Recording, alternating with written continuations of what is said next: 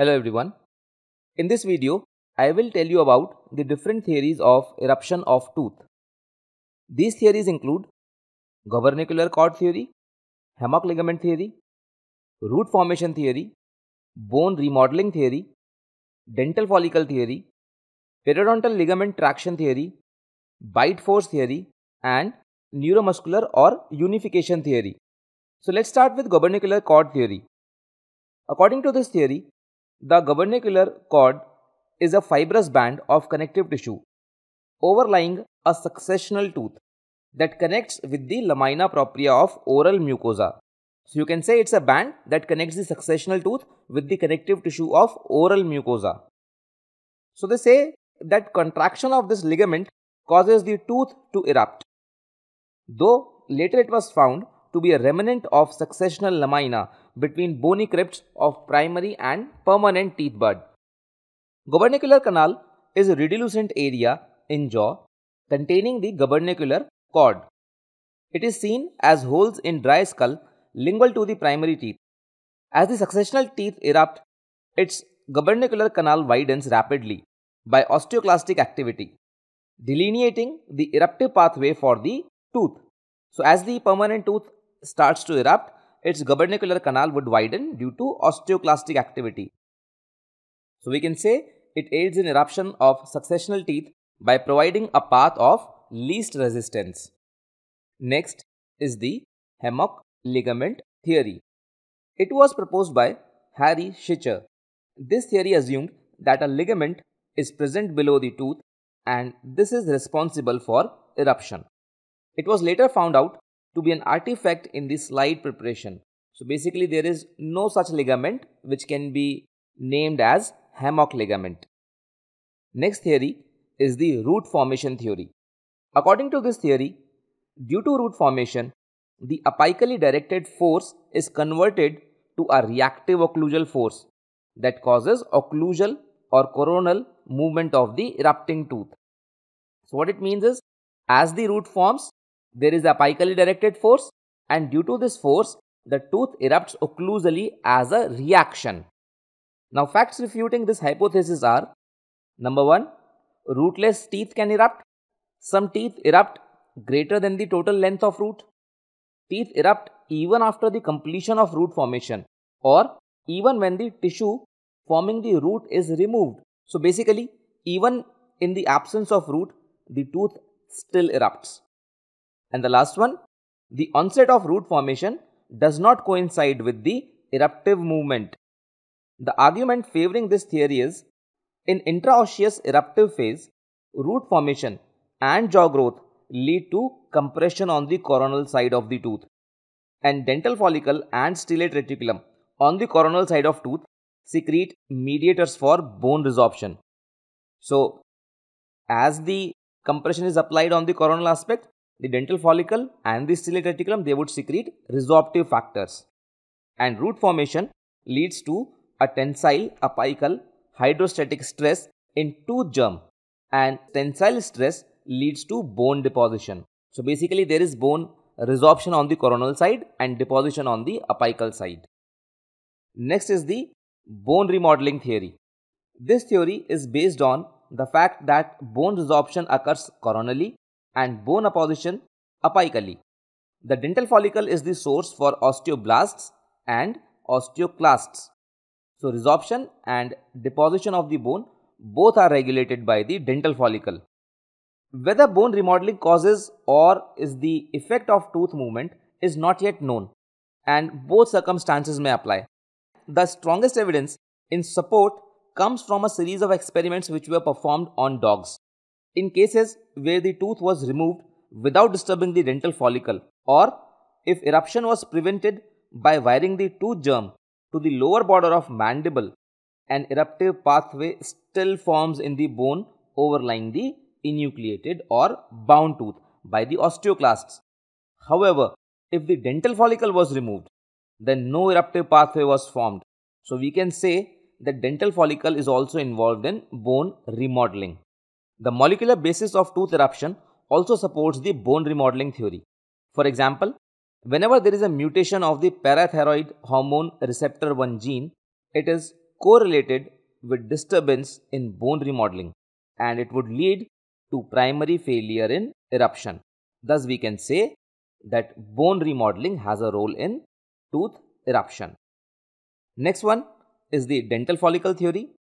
According to this theory, dental follicle is capable of inducing bone resorption coronal to the developing crown and bone apposition apical to the developing tooth. This results in formation of a eruptive pathway. Molecular studies reveal that the eruption is regulated by inductive signals between dental follicle, reduced enamel epithelium, stellate reticulum and alveolar bone. The coronal part of dental follicle regulates osteoclastogenesis and the apical part of dental follicle regulates osteogenesis. So, bone resorption on the coronal side and bone deposition on the apical side. The receptor activator of nuclear factor kappa beta ligand that is RANKL is marker gene for bone resorption and is expressed in coronal half of dental follicle. Similarly, bone morphogenic protein 2 that is BMP2 is a marker gene for bone formation and it is expressed in apical half of dental follicle. Interleukin 1 alpha and parathyroid hormone related protein these are secreted from stellate reticulum and stimulate the dental follicle to secrete colony stimulating factor 1 and monocyte chemotactic protein 1. So, IL-1 alpha and PTHRP are secreted by stellate reticulum and they stimulate the dental follicle to secrete CSF1 and MCP1. These factors cause the dental follicle to act as a chemoattractant for monocytes and these monocytes will fuse to form multinucleated osteoclasts. The CSF1 also downregulates osteoprotegerin which is an inhibitor of RANKL and thus it is an inhibitor of osteoclastogenesis. What it means is that osteoprotegerin which is osteogenic is inhibited by CSF1 so that bone resorption is favored on the coronal side. Reduced enamel epithelium also secretes proteases which help in formation of eruptive pathway by enzymatic digestion of the collagens. Epidermal growth factor and transforming growth factor beta 1 released by the dental follicle enhance the expression of CSF1 in dental follicle. So, EGF and TGF beta 1 they are also helping in bone resorption. For eruption of tooth, the coronal bone resorption should be coupled with the apical bone formation and the expression of BMP in apical area is enhanced by tumor necrosis factor alpha and as we have already seen BMP is a marker gene for bone formation. So existence of BMP at apical area confirms that there is bone formation in the apical area. Next is the periodontal ligament traction theory. This theory proposes that the periodontal ligament dental follicle complex possesses the eruptive force due to the traction power of fibroblasts. Here when you look at the diagram, you will notice that before the tooth erupts, the periodontal ligaments are oriented in such a way that they are attached apically to the tooth and coronally to the bone. So whenever there would be contraction in these collagen fibers, the tooth would experience a occlusally directed force. And the fibroblasts are spindle shaped with multiple processes that join with other cells during the ligament development. And you can see them as blue lines on the periodontal ligament in this diagram. Their long axis is oriented parallel to the collagen fibers. So with contraction of the fibroblasts, the collagen fiber also contracts and this translates into the eruptive force. The problem with this theory is that the impacted teeth with formed roots fail to erupt and sometimes the teeth erupt without root and periodontal ligament, meaning that the periodontal ligament is not important for tooth eruption. The next theory is the bite force theory. According to the bite force theory, the bite force on dental follicle causes bone remodeling which leads to eruption. Now examination of dental follicle reveals a broad area of compression over the crown and a wide zone of tension in the follicle below the root apices. So this results in bone resorption in the coronal part due to the pressure and deposition in the apical part due to the tension. Thus, it aids in eruption. The last theory is the neuromuscular or the unification theory. According to this theory, synchronized forces of the orofacial muscles under the control of central nervous system are responsible for active movement of a tooth. That is, signals come from central nervous system and they cause the synchronized movement of the muscles of orofacial region and this muscular movement or this neuromuscular coordination translates into active tooth movement. The molecular events prepare a pathway for tooth eruption under the control of these neuromuscular forces.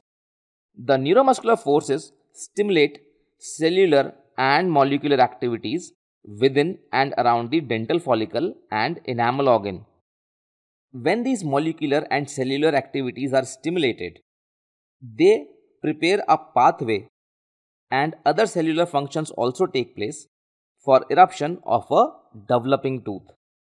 So thus we can say according to this theory, signals from the CNS would stimulate the orofacial region muscles. These muscles would then lead to molecular and cellular event in and around the dental follicle and these cellular and molecular events would prepare the tooth for eruption. So that's all for now friends. I hope you like this video and if you do like this video please don't forget to like, comment and share this video. Thank you.